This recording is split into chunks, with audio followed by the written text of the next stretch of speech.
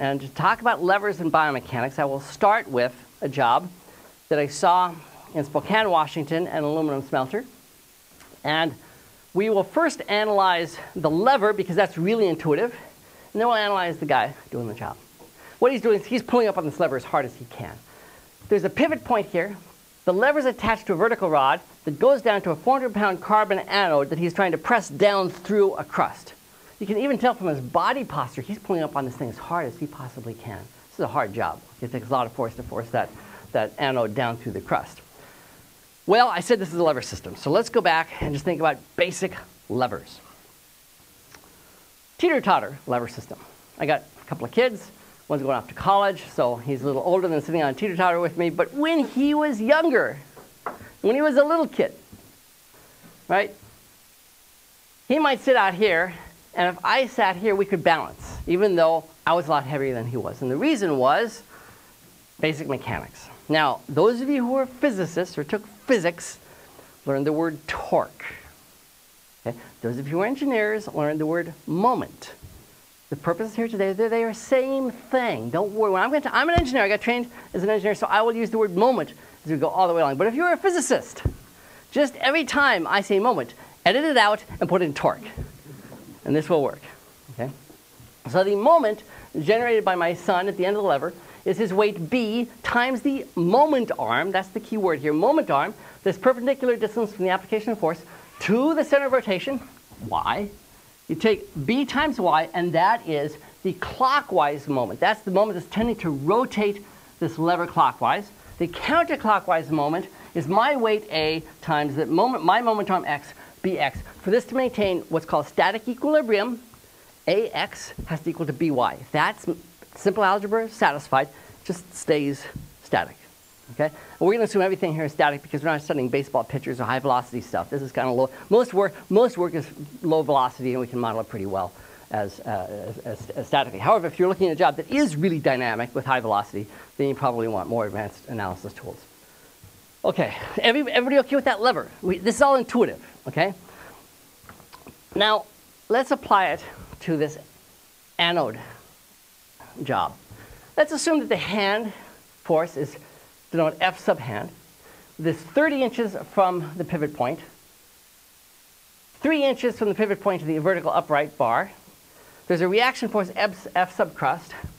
We can write down the moment equilibrium conditions as 30, the moment arm, 30 inches times F sub hand is equal to 3 times F sub crust, divided through by 3, and you get 10 times the hand force is F sub crust. What that's saying is the anode is feeling 10 times the force of what this guy's pulling up with. It's a 10-fold force multiplier. You know, the Greek Archimedes is supposed to have said, give me a lever long enough, I can move the world. That's why. Levers are force multipliers. That's why we love them. That's why we use wrenches and levers and all kinds of crowbars and things like that. They're great tools. They're wonderful, right?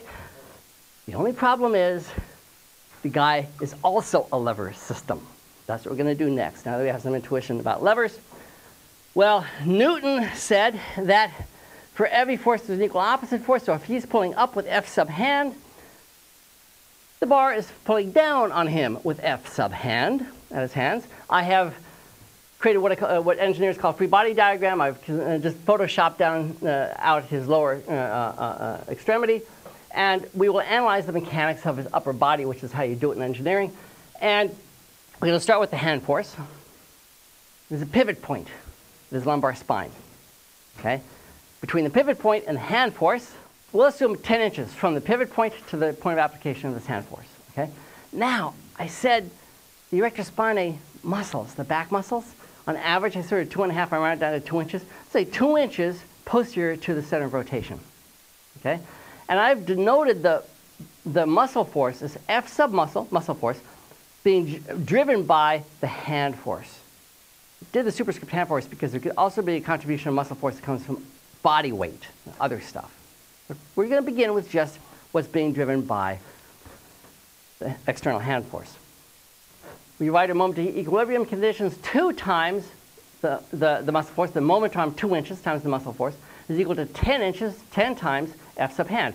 Divide through by 2 and we get 5.